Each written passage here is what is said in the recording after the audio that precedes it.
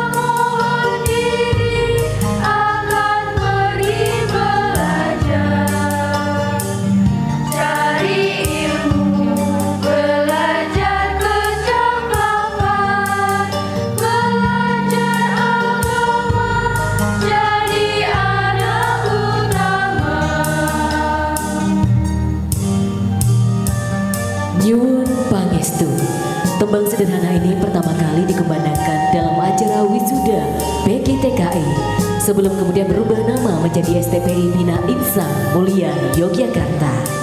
Dalam wisuda kali ini, tembang Nyuwun Pangestu kembali dikumandangkan sebagai ungkapan penghormatan dan rasa cinta kepada penciptanya, almarhum Ayahanda HM Avandi, seorang dosen senior